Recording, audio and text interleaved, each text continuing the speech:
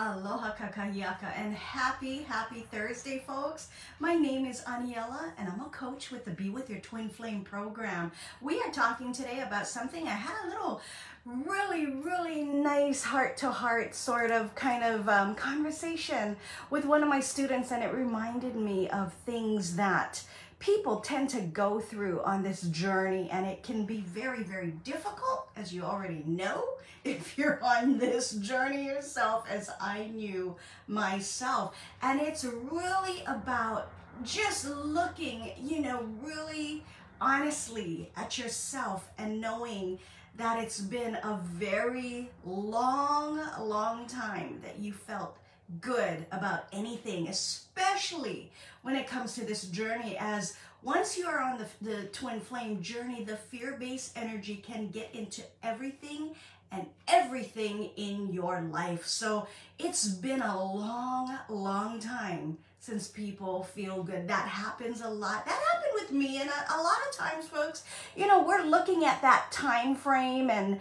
you know, trying to be able to feel better, and we know that it just feels like forever. Everything feels like forever on this journey. Feeling down, feeling depressed, even on the floor, physically on the floor, in physical pain many, many times because of having these energies repel and activating your fear-based energy so deeply that you actually feel ill. So there's a lot of times that that's happening. And if that's you folks, I totally, totally am speaking to you. Now, we're going to talk a little bit today about what is happening just on the surface so that you can recognize if that's you feeling like this, you are just, oh my gosh, you are just so, so quote unquote broken up about this, but you don't know how to get out of it. You have tried everything you know.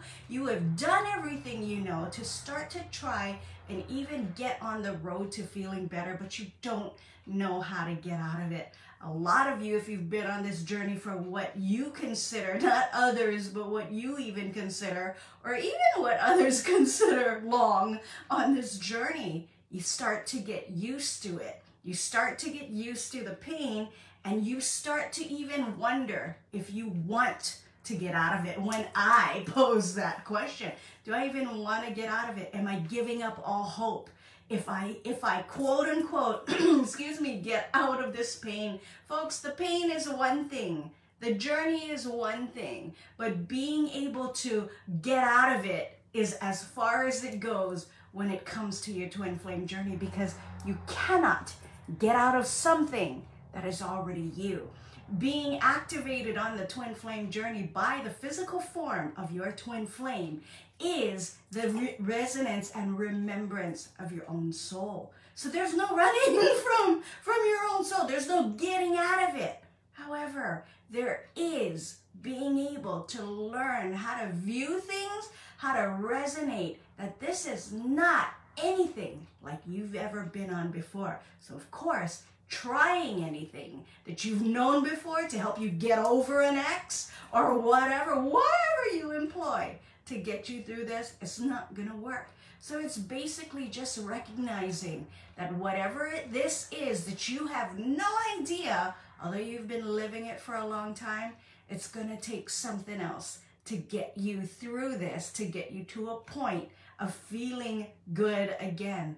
And what if I told you not just feeling good, feeling better about anything that ever comes, about everything that's happened to you, and about everything that's going to be coming your way when we're talking good. How about if I told you that? Because it is absolutely true. Yesterday is just so crazy. I saw this meme coming down Facebook on my wall. And it was from one of these speakers that I love to pay attention to because he's very positive and he, he looks for the great things in life to keep you on a light level. I'm, uh, if you know already, I'm kind of on a light level. I don't like heavy. I don't like deep, even though I can definitely maneuver through those situations. But for myself, I love lightness. I love laughter, humor, all of that stuff. And one of the things he asked was, what is, because you've heard me say this so many times people viewing this as the worst thing to happen to them.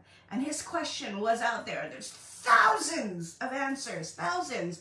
What is the best thing to ever happen to you that came out of the worst thing that ever happened to you? Folks, that's what I'm asking you today. The exact same thing. Because so many people really, really, really view this as the worst thing to ever happen to them. And I'll tell you right now, it's all perspective, it's all energetic. And when you start to realize that this happened to you because your soul said you're ready and because your soul wants to give you better, you will realize that this truly is and can be the greatest and best thing that ever happened to you. It is for me. And I look at you straight, straight on to tell you that. It is for me. My life changed phenomenally once I started learning how to balance my fear based energy. I had found me in me again, the me that I knew was already deep down in there and just got buried under layers and layers and layers of things in life. And then I found myself on this twin flame, flame journey and thought, God, no, not this too. And it ended up being the best thing that ever happened to me. So if that's you, you're in it, you're used to it. There's a lot of people out there who love to say, I have a high tolerance for pain. It's not about the pain, folks. It's about wanting better for yourself. If you're to make it about the pain, if you're to make it about the struggle, that's all it will ever be. And honest to goodness, how is that working for you? All this time. You know, being in a place where, you know, I get it. That's what you know. That's what you've lived. That's what you've been living it, been living, and you become very complacent, very, very used to it, and sometimes very bitter about it all. Who likes living like that? Who does? I didn't, and that started to be me. So if that's you folks, I totally get it. And I totally understand and resonate where you're coming from. But again, how is that working for you? There are, there are, there are things, and I will repeat that over and over, that will come to you when you start learning how to manage and operate from the soul. Alrighty, folks, we're going to send you off today. Have a wonderful, wonderful Thursday and a great weekend coming up. Ahui ho and malamapono. Bye, everybody.